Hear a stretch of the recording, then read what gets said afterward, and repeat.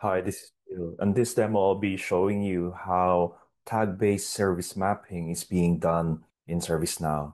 So if you haven't done so to subscribe to my channel, please don't forget to like and subscribe and join my membership to so further support my channel. And as we go back to the service mapping, the first step is basically you need to have the configuration item established inside the ServiceNow.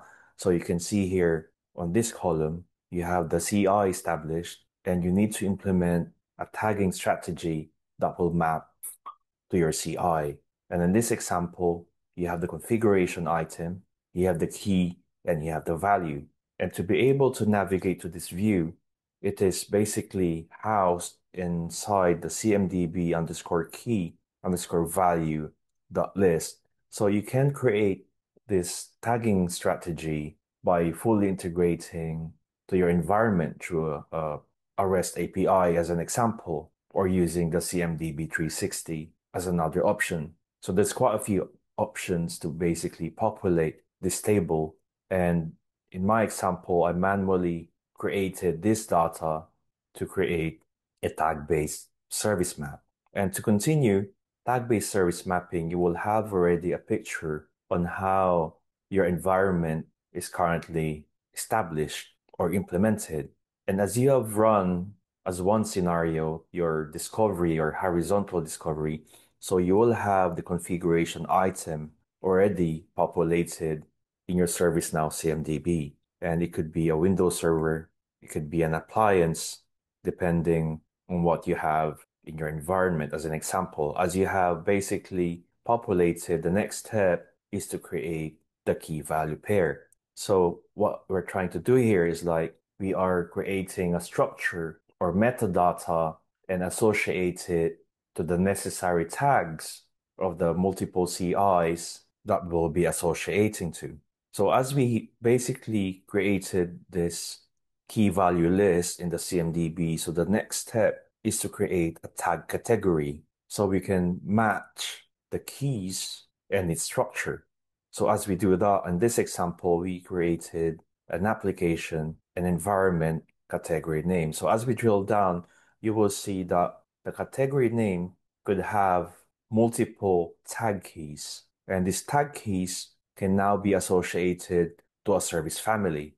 And before we move to the service family, I would like to explain that the metadata from your cloud environment and the CI, now you can populate it and map it respectively. As you can see, we are already building the structure of your service mapping.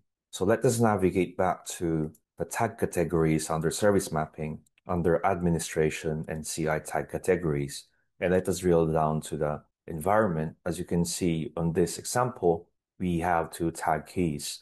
And, and as we basically create tag keys or the metadata that will be populated, then the parent, of course, will be the service. And as we basically create that service, now we can associate the two tag categories that we have created.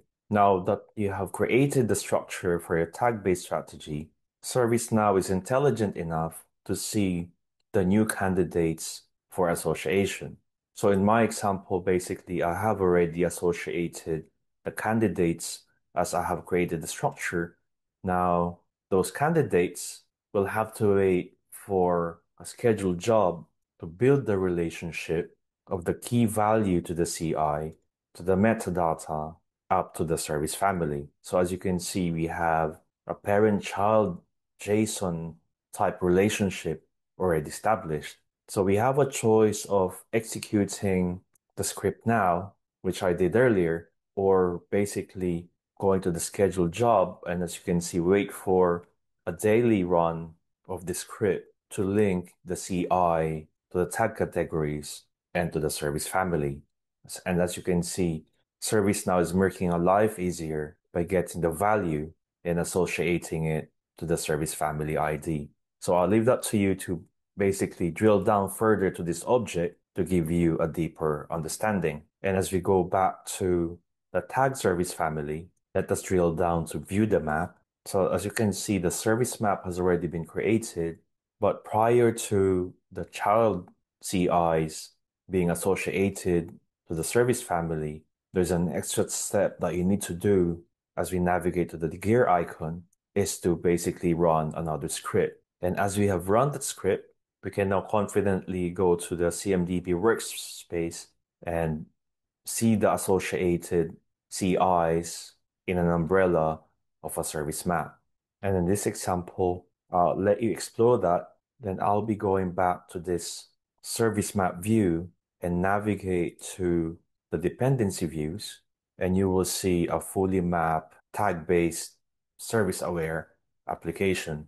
And as we have created this full mapping using the tags, now you'll have the ability to see the impact and the criticality of the service. So you can isolate very specific business aware or service aware service that is providing probably an income generating application that is supporting your business. And as we further example that using ITSM, as we create an incident, now we could basically navigate back to the service and type in the service map tag base that we have created.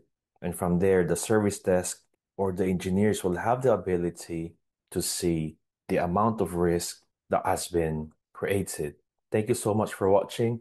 Please don't forget to like and subscribe and join as a member to further support my channel. I'll see you on my next video.